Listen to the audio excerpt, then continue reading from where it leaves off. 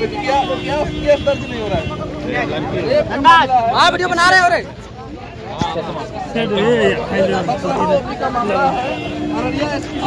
परमानंद परमानंद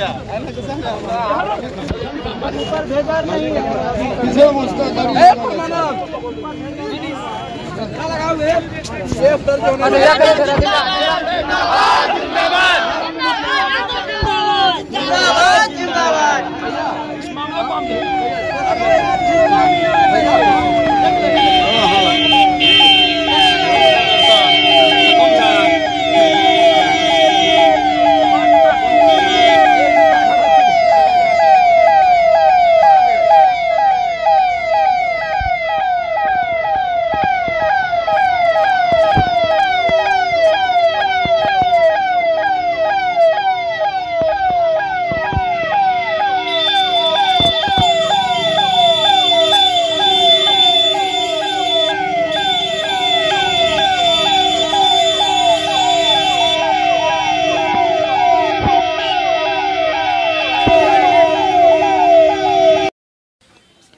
लगा जो हालात हैं बिहार के, चार दिन पहले हम रक्सौल में थे, एक इकलौते बेटे को गोली मार दी गई।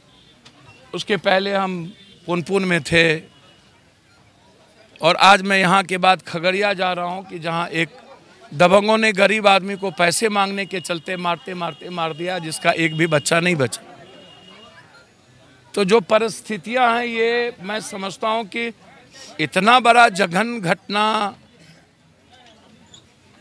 आप या कोई दोस्त था बच्चे का या बच्ची का तो सामाजिक आधार पर सामाजिक वातावरण हमें बनाना चाहिए था। हम पंचायती करते, समाज के लोगों को, बुज़ुर्गों को बैठाते, और उस तहत हम बात करते कि इसका सॉल्यूशन क्या है। बच्ची और बच्चे यदि एक राज़ी थे शादी करने के लिए तो वो अपनी बेटी के लिए तय करता कि उनको किस तरीके से बच्ची को रखना है आप बच्ची के नाम क्या चाहते हैं? लेकिन एक मासूम बच्चे का जिस तरीके से ईगो में, अहंकार इसको मैं कहूँगा कि इतना बड़ा ईगो और भीतर में डर ना हो सोसाइटी का, और इस घटना को लेकर के जिस तरीके से बिहार के लगभग यूथ के खास तौर पर अररिया मधेपुरा सहरसा सुपौल के यूथ के जहन में यह बात इस तरह की चीज़ें जिनकी तो ये लोकतंत्र नहीं है।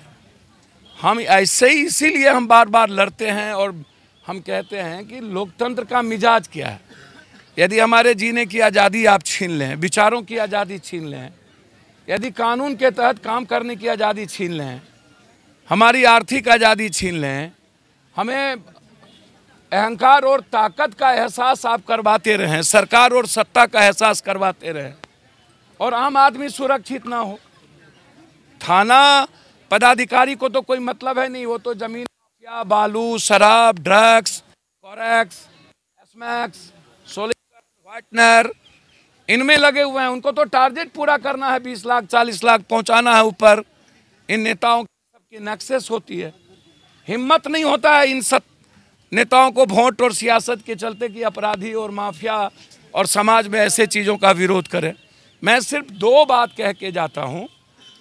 इस केस में किसी भी कीमत पर याद होगा, आपको मैं बीरनगर आया था। और बीरनगर में मैंने कहा था, वो पताल में भी होगा तो उसको ज़िंदा या मुर्दा में निकालूँगा बलात्कार की घटना में हम आए थे। एसपीडी ट्रायल मैंने उसकी करवाई। डी डिस्ट्रिक्ट जज साहब से बातचीत हुआ। हाईकोर्ट में मैंने डाला।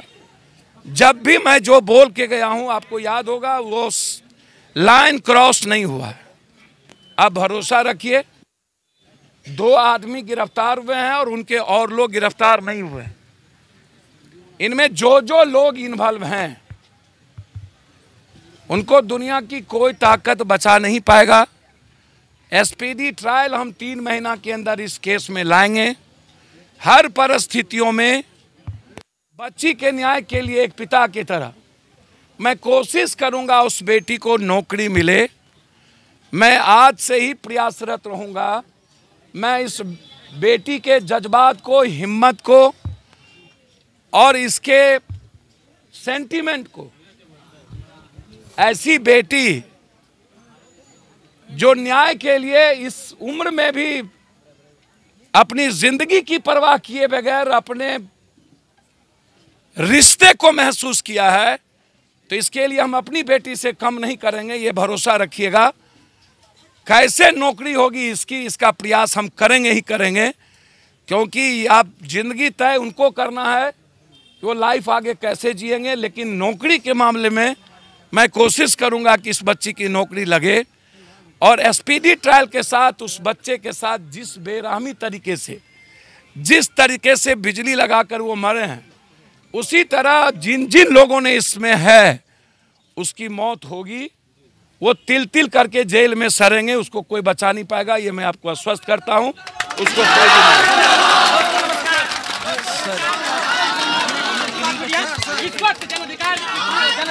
अभी आपको बता दें कि पप्पू यादव जो है, कहीं ना कहीं आए हुए थे रहरिया गाँव, जहाँ पर क्या कहता है, परिजन से आश्वस्त किए हैं परिजन को कि इंसाफ मिलेगा। सर आपने आश्वस्त किया है इंसाफ मिलेंगे सर किसी भी कीमत पर कब नहीं मिली? कब पप्पू यादव बोला है नहीं मिली है? कौन ऐसी घटना है जिसमें पप्पू यादव आया और न्याय ना मिली? जी सर जी सर। एक सवाल इस है, बच- ऑनर किलिंग पर। अभी तक कोई गिरफ़्तार वो दो जो गिरफ़्तार हुए हैं उसको ग्रामीण ही ने पकड़ के दिया। मैं वही बात कह रहा हूँ। ही। आप आप आप बेफिक्र रहें। सर मुख्यमंत्री तक को मैं हिला दूँगा इस घटना में। चैन से सोने नहीं देंगे मैं भरोसा करता हूँ। तो आपने देखा किस तरीके से यहाँ पर जो है आदरणीय पप्पू यादव जी जो हैं आए हुए हैं और अस्वस्थ कर रहे हैं सभी लोगों को। आप देख पा रहे होंगे। हमारी बातचीत इस इशू पर डीजी से भी और सीएम हाउस से भी हुई थी। हमारे दो तीन बच्चे पूर्णिया में जब हम परसों बकरीद में थे तो पूरी जानकारी हमें बच्चे से मिली। चूँकि इस बीच में लगातार राजीव नगर, नेपाली नगर में बहुत बड़ा जुल्म, उत्तर प्रदेश से भी बड़ा बुलडोजर और पूरी पटना को ख़त्म करने की तैयारी थी। सत्ता पक्ष और विपक्ष दोनों पूरे बिहार से गायब थे और उस हालात में अकेला लगातार चार दिनों से पटना में लाठी गोली चलती रही, उसमें हम इंगेज रहे। और जिस कारण से इस बच्चे की जब घटना घटी तो उसकी जानकारी तुरंत में हमको नहीं पहुँच पाया। और लगातार कुछ न कुछ मर्डर होते रहे।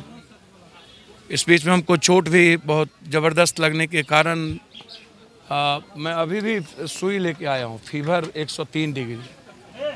लगातार उस दिन के बाद कभी सीभर में सुबोध यादव मुखिया फिर दो सगे भाई की हत्या परसों में कटवा में था जहाँ दो भाई की हत्या हो गई।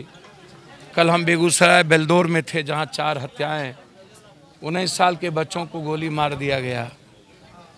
बेलदौर में ट्रैक्टर में चढ़ा करके मार दिया दबंगों ने। पुनपुन में दो सगे भाई की हत्या हो गई थी। तो मैं, आने में मुझको देर हुई, मैं क्षमा चाहता हूँ। लेकिन कार्रवाई लगातार इस पर मेरी नज़र थी। आईजी साहब से पूर्णिया आईजी से मैं दो दो बार बातचीत किया था। और पूर्णिया आईजी इस केस को खुद मॉनिटरिंग डायरेक्ट कर रहे हैं।